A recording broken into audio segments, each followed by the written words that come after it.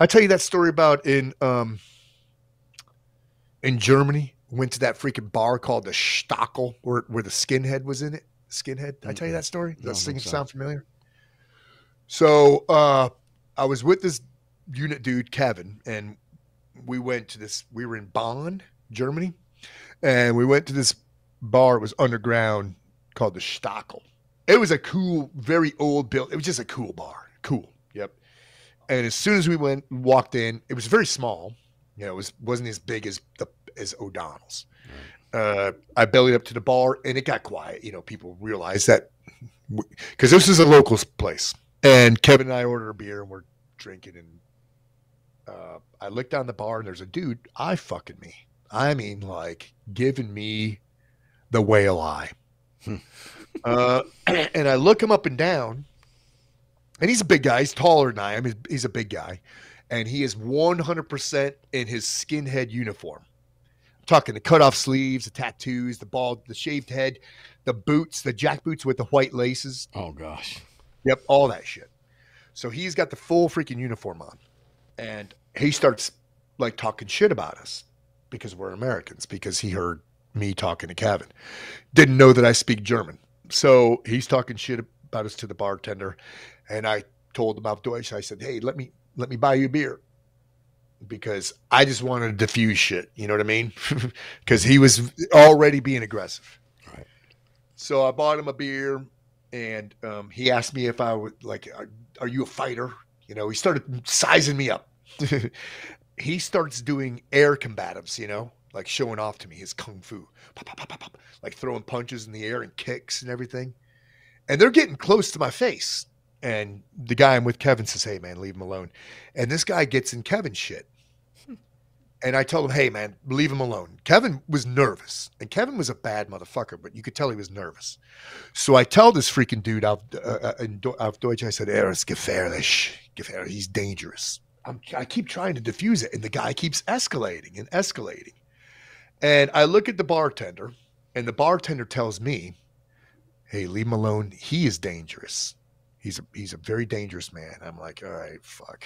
You know, I could already feel it now. Now this shit's escalating more and more. It keeps going on and on and on. He's doing more and more air kicks and and air katas.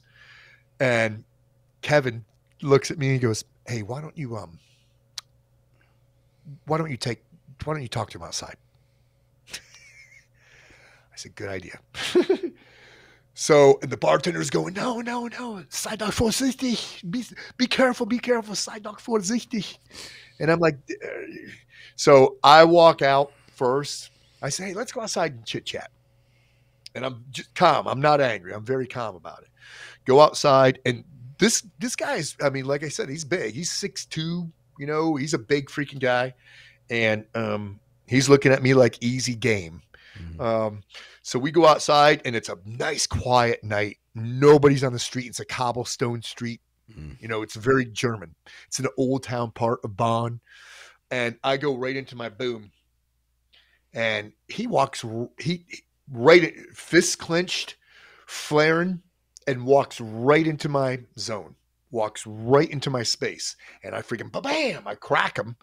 And that too just freaking detonated his face. You know, detonated. my fist went into his mouth and I cut my hand on his teeth. I still have a scar there. And he hit the deck so freaking fast. And now he's speaking perfect English. I'm sorry. I'm sorry. I did not mean anything. I'm sorry. and uh, I said, get up and go. And I kicked him in his ass while he's just insult to injury. You know, Mhm. yeah, you're down. I'm not going to freaking punch you while you're on the ground.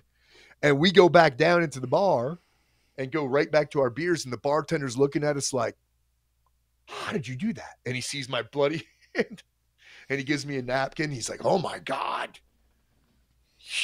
I can't believe you survived that, dude. He was so dangerous. yeah, but you know, it's funny because anybody who starts a fight, typically, they don't know how to fight. Oh, if you're throwing kicks in the air at a bar, Right. Yep. Yep. A fighter isn't going to start a fight, man. No. You know? That's a great story. I like the way that it, it's, you know, because all I did was diffuse the whole time. Mhm. I tried to de-escalate, de-escalate, bought him a beer because I saw as soon as I walked in, he sized me up. As soon as I walked in, because he was the bar tough guy. That was his Yeah. turf, you know. And he saw he, I guess he saw me as somebody challenging his space. You know, oh, here comes another freaking tough guy. Let's see how tough he is. I'm gonna freaking challenge him and blah, blah, blah, and intimidate the hell out of him. I would intimidate him freaking face, man. He's like, Not "Kevin one Owens." freaking bit. he needed to establish his dominance, and he picked the wrong guy to establish it too. This is going to be a YouTube clip. I can already tell you. Yeah. All right, on. Good, good, Yeah. good. Yeah. That's a great, perfect for YouTube, man. Yep. Yep.